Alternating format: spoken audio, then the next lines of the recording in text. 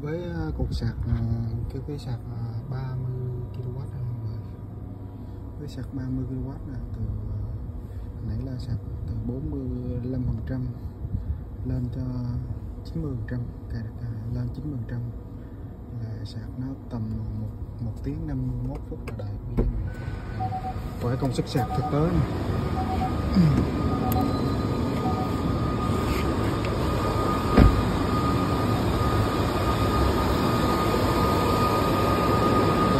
Xuất sạch tới 40W 24W hai à. kg ba. Một tí nó tầm gần ba ngàn hai một tuần.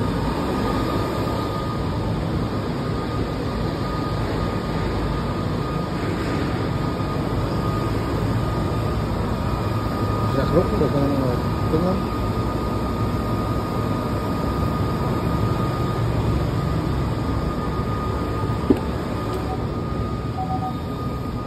sạc pin. Sạc pin ra để để chế độ ờ, cắm trại mọi người.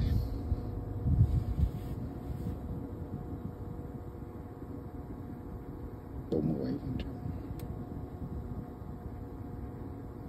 nóc cách âm ghê á, ngoài ồn ào mà trong im ru á.